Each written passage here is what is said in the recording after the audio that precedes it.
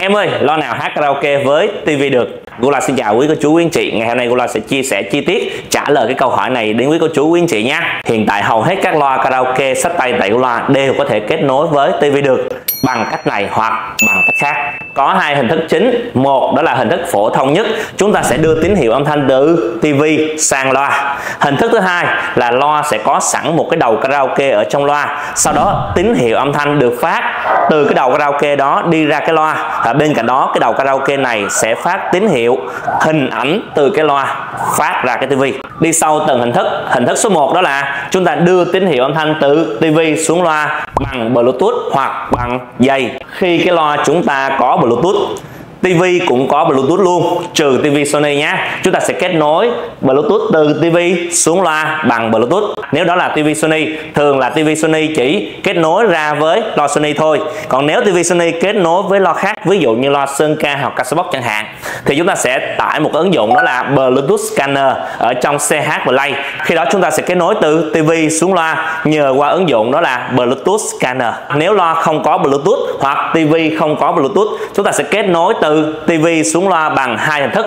Một đó là tín hiệu bằng dây, digital. Hai đó là tín hiệu bằng dây, analog. Tín hiệu digital chúng ta sẽ có optical nè HDMI hoặc là coaxial analog chúng ta sẽ có 3.5 bông sen hoặc là 6.5 khi này chúng ta chỉ cần chọn dây phù hợp là được. Ví dụ TV có ngõ ra là optical out.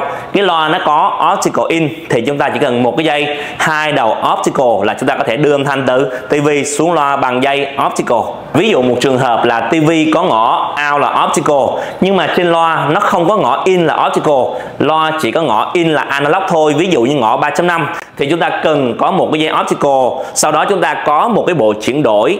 Nó có tên là inverter hoặc là DAC sau đó chúng ta từ cái bộ chuyển đổi này sẽ đưa vào ngõ 3.5 của loa. Vậy nghĩa là chúng ta đã chuyển từ tín hiệu từ digital ngõ optical từ TV sang tín hiệu analog là ngõ 3.5 ở trên loa. À, một điều chúng ta cực kỳ lưu ý nếu mà về thông tin khoa học đó chuẩn nhất của optical sẽ chuẩn hơn cái chuẩn nhất của ngõ analog ví dụ như ngõ ba ly rưỡi. Nhưng chưa hẳn là chúng ta xài dây optical âm thanh nó sẽ hay hơn là dây hai đầu ba ly rưỡi đâu. Em ví dụ như một số tivi Sony á, nó có ngõ tai nghe là ngõ ba ly rưỡi.